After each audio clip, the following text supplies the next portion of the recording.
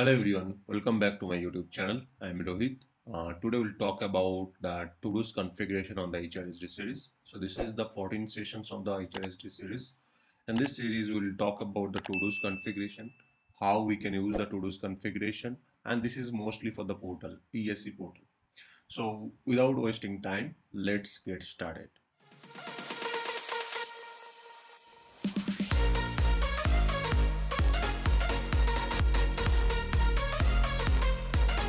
In the HRSD module, whenever you open that ESC portal, so this is our ESC portal, you can see in the top we have a to-dos options and these to-do have basically two tab. One is the open and that is the complete.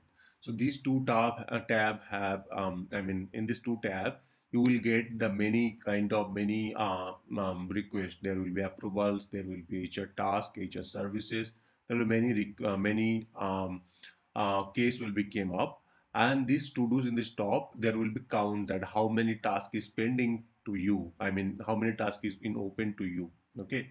So uh, in order to configure that uh, you can go and configure that so that any kind of task can be visible under to do's module in either in complete tab or in the close tab. So let's understand how out of box uh, giving to you so that you can modify uh, in case you need it okay so if you go back to that left navigations in the ServiceNow and here type that HR administration under the HR administration, if you scroll down, so there will be one, uh, uh, uh, you know, the service portal module. In this service portal module, we have a to-dos configuration and the HR case header configuration.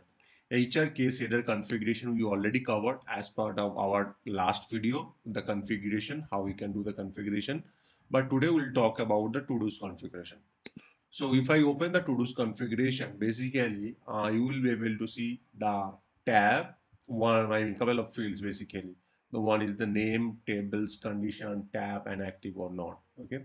Now if I group by with the tab, you will be able to see two groups. One is the open group, another is the closed group. It means that whenever you open the ESC portal and to-dos, click that, to-dos have a two tab by default so in that case, uh, in your um, ServiceNow, they are providing two tabs. One is the complete tab, another is the uh, open tab.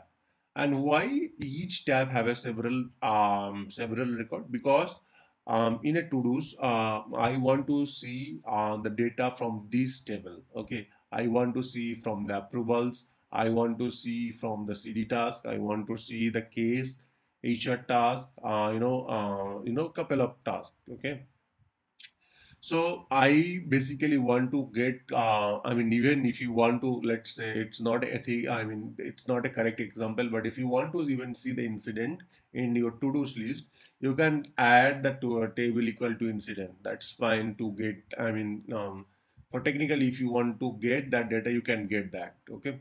So basically you have a two tabs and in two tabs, whatever kind of data you want to see, you can see that the number of here will be show always the open tab count. So if you see here, I have two tasks open and one task is basically completed. But in to-dos tab, I will be able to see only open task count. So that's how the ServiceNow out of box is configured.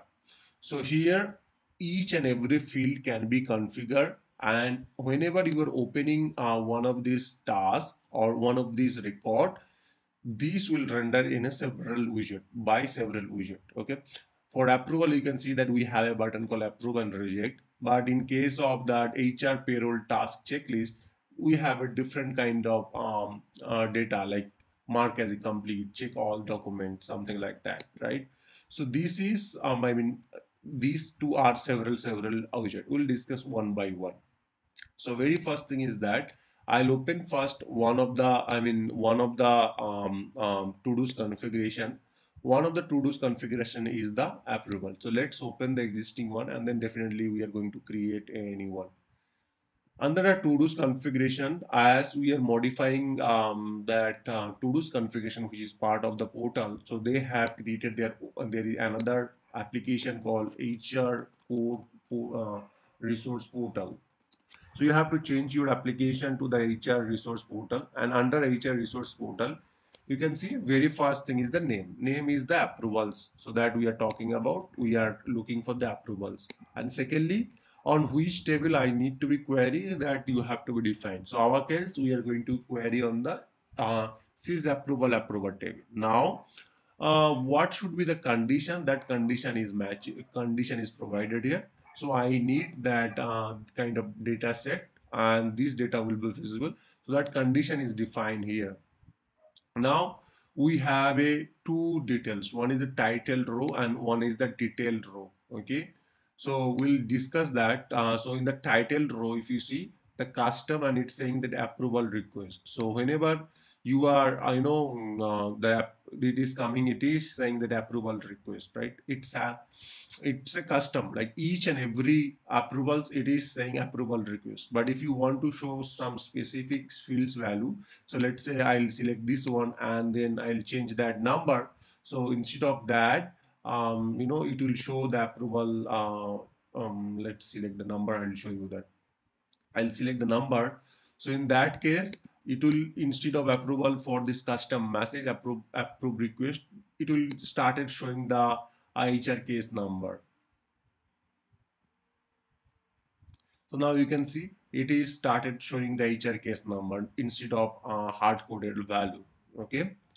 Now uh, that that is uh, you can define here. Now next thing is the details row. In the details row we have a approval for short description. Approval for short description nothing but this is the approval for short descriptions. This is also showing the approval for short description. And a link to task means that whenever you click that uh, it is going to actually that particular task record right? So that's the um, that's the purpose of the link to task okay? So if I uncheck this one and uh, simply save that and going back to the to-dos and refresh that one more time.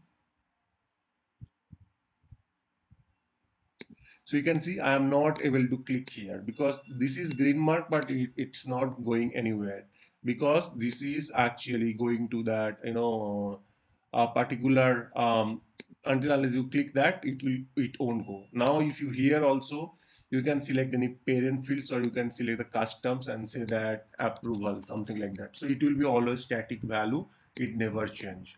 Like the way it was uh, showing on the title row now let's refresh that and see how it will be looks like that by custom field so now you can see we are getting the hard-coded value approval here and the here. And um, you know that we have selected that link to cart so that's the reason it is going to there. Uh, here we have a to do uh, to do's widget mapping this widget is basically help you to uh, you know render this uh, data. I mean whenever you click that it have a uh, you know approval details this pop-up I mean this box is coming and then we have approved project the this widget is responsible for you know that um, showing that um, buttons and then and that showing that uh, input box. That is the responsible for that one for task also we have a separate variable, a separate widget that will help you to you know uh, mark as close complete or close incomplete. So if I go back here for the task, we have a mark as complete. So this is the different widget which will be responsible for this one. So if I open this uh, widget, so you can see that completely description, it is saying that this widget is used to approve or reject the to-dos in case the rejection appreciate appropriate reason should be uh, provided. Okay so this is basically um, uh, for the rejection only or the approval only. So you, whenever you go back and click the reject uh, that uh, that that validations and everything is in place of here. Okay? So that's the way it is configuration uh, configured. In case if you want to modify or you can in case you want to add some uh, additional table uh, in the to-dos list or in case you want additional things you can do that.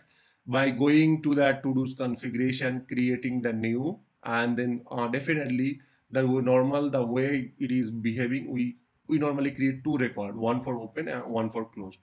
For open whatever is active record we show and then once it is done the action is done like it is complete or maybe it is approved for me or maybe it is complete we normally show into the completed uh, tab. So so we we normally create it into uh, you know two record for to-dos configuration. One is for open tab, another for closed tab. here you need to provide the table name and then title row whatever field you want to visible or make any static message or any field value if you want to show the last thing i just want to show you here uh, how many widgets are used for the to-dos so that i'll show you that so if i go to this to-dos configuration right now and here we have basically to-dos widget mapping if you see under this to-dos configuration, we have a to-dos uh, widget mapping, which is actually mapping between uh, this to-dos configuration and the widget. So this is to-dos configuration and this is the uh, you know widget. Now let's see how many widgets we have. So if I do the list by default out of box whatever um, you know widgets they are providing I'll just show you that. So now you can see total 13 mapping are there and then uh, uh, if I do group by on the widget. So basically five widgets, uh, five by default widget are providing by ServiceNow. Uh, based on that, some of the widgets for task activity, they have provided HRM task activity. For HRM inbound task, they have created one widget. For to-dos approval, they have created one uh, widget. For case acceptance, they have created one widget. So several, several widgets they have created. In case if you don't um, want to use the outer box you can create your own widget to make the visible and or make the visibility whatever you think uh, so that's all about how you can configure quickly so most of these things are um, uh, we are covering is that outer box that whatever they have providing and what scope you have uh, so to and what else you can uh, configure uh, without um, touching the code and where you can change your code in case you need it okay so that's it for today. Thank you very much. Have a great day. We'll see in our next video. In this in this time, uh, please like, share, and subscribe my channel and hit on the bell icon to get this kind of update. Thank you very much. Have a great day.